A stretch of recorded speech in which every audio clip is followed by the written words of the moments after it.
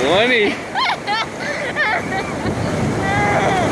Daddy, you gotta move out of the way. well, you saw me there. I can't. do that.